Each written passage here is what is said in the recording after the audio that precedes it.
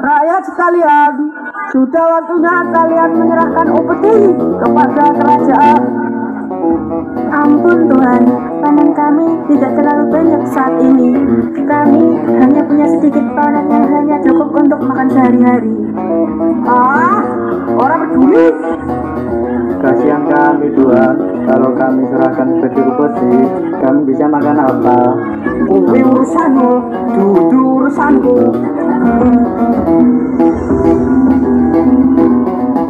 Kasihan kami Tuhan, kami mohon Tuhan jangan diambil, jangan diambil Tuhan.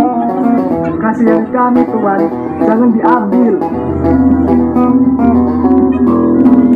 Loh, ada apa ini Tuhan? Kenapa kalian mengambil paksa makanan mereka? Namun Raden Said, bagi kerajaan. Tapi kenapa dengan cara seperti ini? Tahun